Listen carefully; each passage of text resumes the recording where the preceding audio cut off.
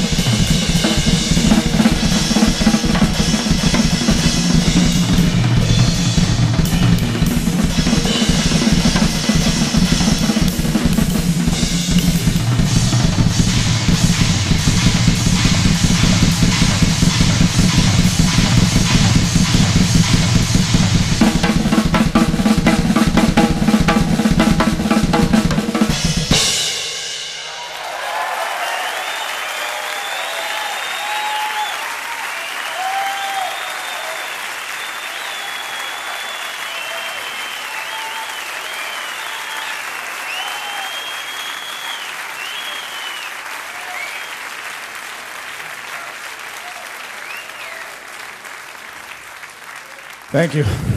I wasn't planning on starting with that one.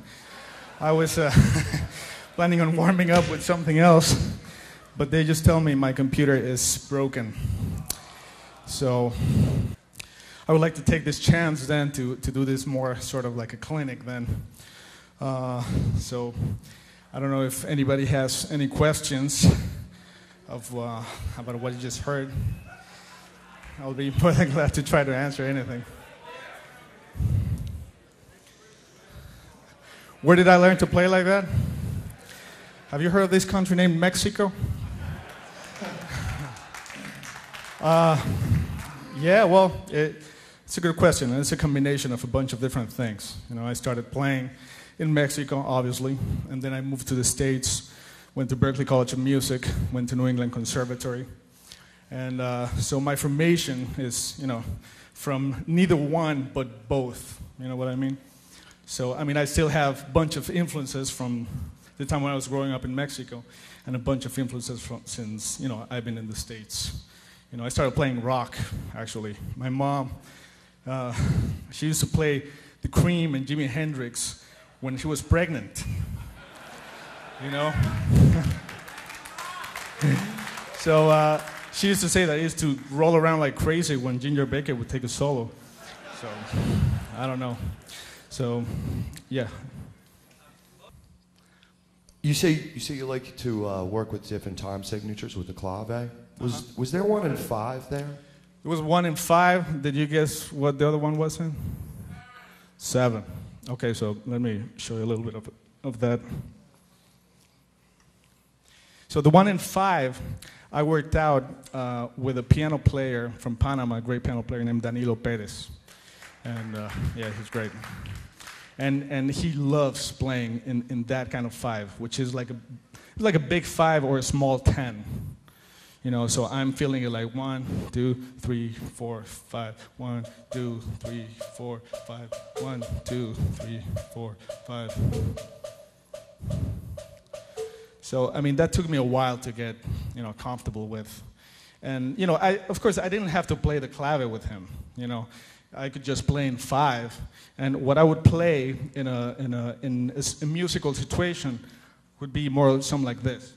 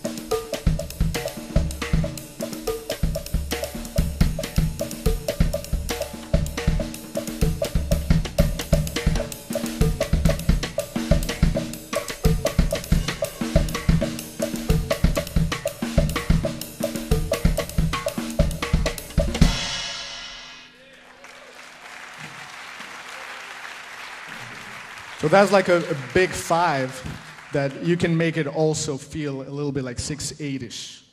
You know,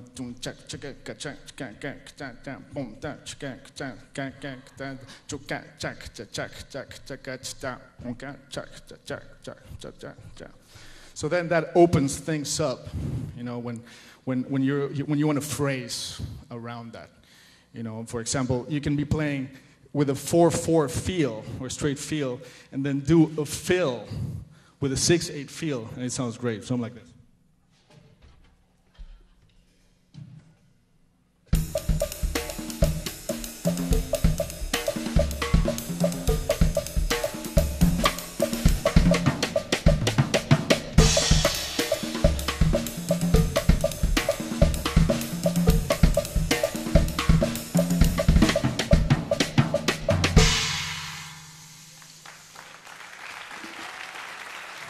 Or you could also do it the other way around, play with a 6-8 feel, and then when you're going to do a fill, you go into more like a straight 4-4 kind of fill. And uh, are you guys curious about that 7-8 clave too? Okay.